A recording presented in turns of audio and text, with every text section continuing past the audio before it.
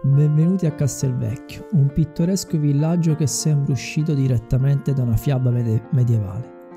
Questo posto magico è indiviso in due parti, proprio come il desiderio di gustare sia pizza che gelato.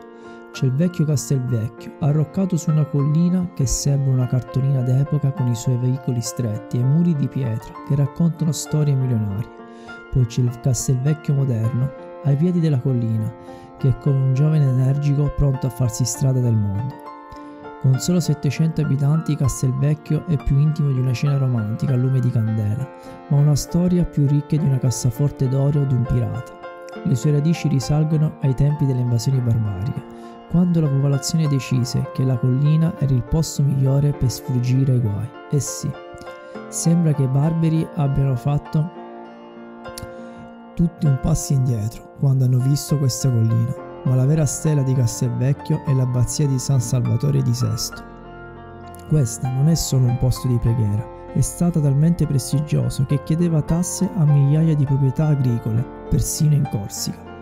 L'abbazia ha anche dovuto affrontare un'invasione pisana nel 1313, ma è tornata più forte che mai, grazie agli investimenti della Repubblica di Lucca dimostrando che quando si tratta di difendere il proprio patrimonio, Castelvecchio è pronto a sfoderare le spade.